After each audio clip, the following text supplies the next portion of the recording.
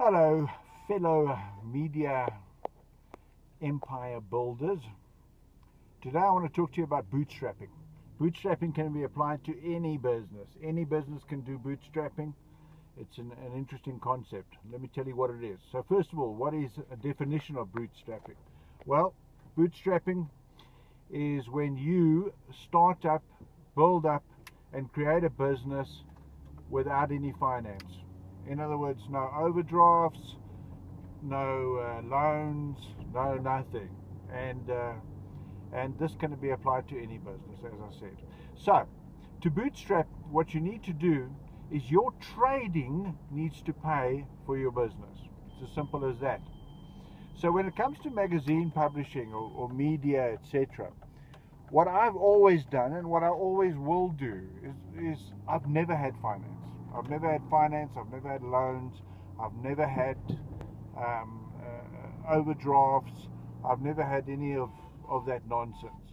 Simply because it's debt. And I've, I've always thought, and you must get this mindset that a business needs to be able to support itself. If it can't support itself, useless having that business. And this is from the outset, by the way. So, how do we do that? Well, let's take a magazine advertising or magazine business as an example.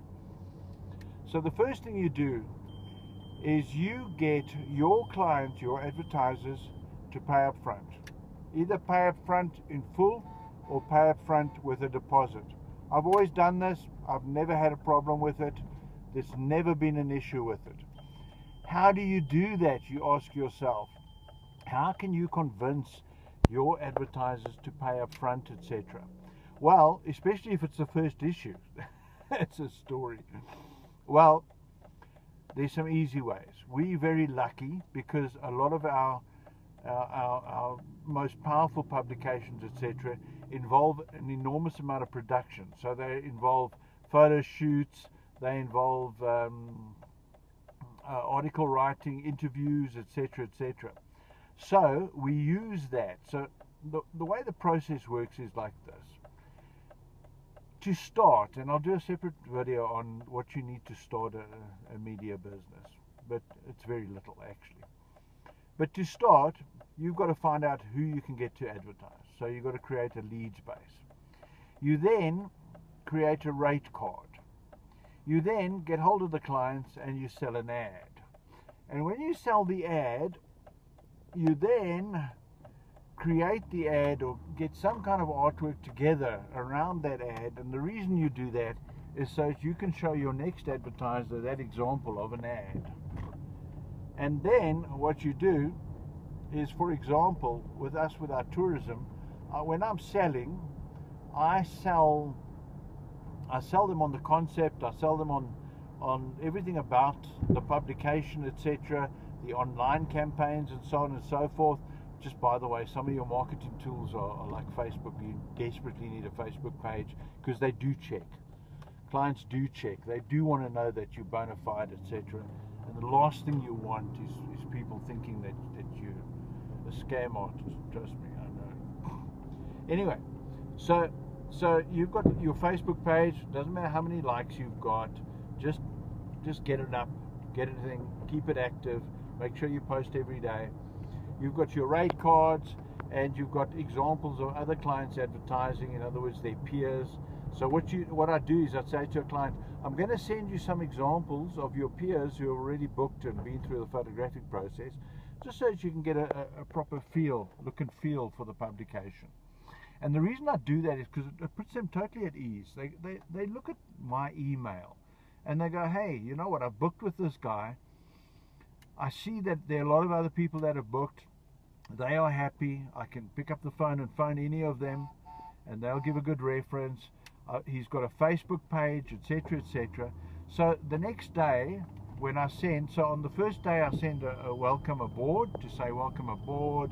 We're going to make you proud, blah blah blah, and and on that same day, the the we get hold of them with regards to production with a list of requirements material wise to do their things or, or specs if they're going to supply finished material, whatever the case may be. Um, and of course, specs with what we require for the online campaigns. And then the next day, I, I always leave it for a full 24 hours. I send the invoice.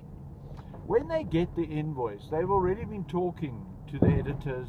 They've already been talking, and, and even if this is a freelance editor that you're hiring that's working from home, working with you to collect material, and you're paying per article or whatever, even if the photographer is, and I only use contract photographers that, that get paid per shoot, and you negotiate a very low shoot price because you, you, you convince them with the fact that you're going to be doing a lot of shoots. Even if that's the case, etc., you get these people to contact your clients.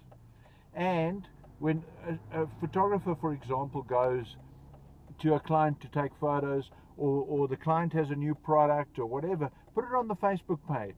Put it on the Facebook page so that everybody can see, like like you're rocking and rolling, you're already promoting, etc. Anyway, so by the time they get that invoice a day later, they process it and they do full payment. I've never had a problem with that. Seriously. The only time I've had a problem is if the person actually doesn't have the money and shouldn't be advertising in the first place. Um, or if it's a, uh, what, what we call a soft sell. So, you know, you, you get solid sales and you get liquid sales. And when it's a liquid sale, then it's terrible anyway. So, so that's when, so that's what bootstrapping is. So bootstrapping is you get deposit or full payment up front. You have to put that in a reserve account. Do not spend that fucking money. Put it in a reserve account, etc. When it comes to printing, print the magazine. Get 30 days on the print of the magazine or if you've got enough in your reserve account to pay COD up front, it allows you to negotiate a much better print price and as a result your margins improve etc but get a deposit whether it's a deposit or full payment up front and you'll notice that you don't have a problem with 90% of your advertisers and clients you don't have a problem with. Advertisers don't have a problem with this because they realize that for the online stuff if somebody doesn't pay you, it's fine. You just switch it off or take it off. You just delete it, the online stuff. But for the the the printed stuff, once you've printed it, you can't retract it. And advertisers need to know this.